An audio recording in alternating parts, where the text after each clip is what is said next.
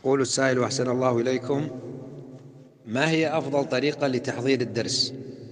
الحمد لله رب العالمين وبعد. هذا أمر يرجع إلى همة المحضر وإلى عزيمته وإلى فهمه وإلى إلمامه بمقدمات ما سيلقيه على طلابه. وعلى حسب تجربة العبد الضعيف في دروسه التي يلقيها على طلابه وأحبابه من طلاب العلم هو أننا نحضر هذا الدرس بناء على عدة خطوات. الخطوة الأولى أن نفصل الكلمات وأن نبين معناها فإن كانت تفسيرا فلا بد من بيان معاني الكلمات وإن كانت متنا فقهيا أو متنا حديثيا فلا بد أن نبين هذه الكلمات وأن نبين معناها. فبيان معاني المفردات التي تشرحها كتابا وسنة هذا من الخطوات الأولى حتى يتصور الطالب ويتعرف على معاني ما سيلقى عليه من العلم. والأمر الثاني أن نبين معناها إجمالا.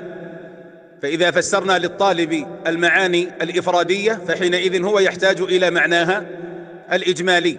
فلا بد أن نبين له المعنى الإجمالي لما نريد شرحه وتعليمه إياه. ثم الثالث لا بد أن نحضره تدليلا. فإن هذه المعاني الشرعية تحتاج إلى أدلة تسندها وتبين صحتها فلا بد أن نحضر الأدلة. وهذه الأدلة لا تستقر في قلب الطالب في الأعم الأغلب إلا إذا حضرنا وجه الاستدلال منها. فإذا لا بد أن نجهز وجه الاستدلال فنذكر الدليل معقوبا أو مصحوبا بوجه الاستدلال.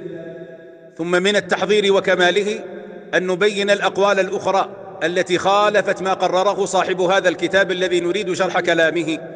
ثم نرجح بين قول صاحب الكتاب والأقوال الأخرى مستندين إلى أوجه الترجيح التي قررها العلماء في كتب أصول الفقه. فإذا شرحت بناء على هذه الطريقة فإن الطلاب سيستفيدون من شرحك فائدة كبيرة.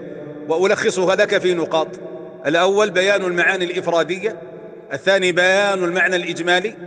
الثالث بيان الأدلة مصحوبة بوجه الاستدلال. الرابع بيان الأقوال الأخرى وأدلتها ثم الترجيح والنظر فيما بينها والله أعلم.